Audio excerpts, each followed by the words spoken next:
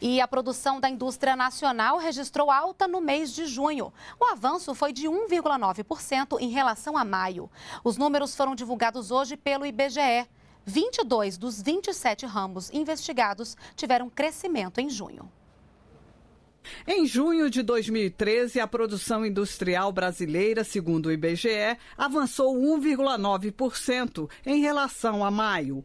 No confronto com junho de 2012, a indústria apontou crescimento de 3,1%, terceira taxa positiva consecutiva nesse tipo de comparação. Com esse resultado, o acumulado de 2013 ficou positivo em 1,9%. A pesquisa do IBGE indica ainda que os principais resultados positivos foram registrados na indústria de medicamentos, máquinas e equipamentos e veículos.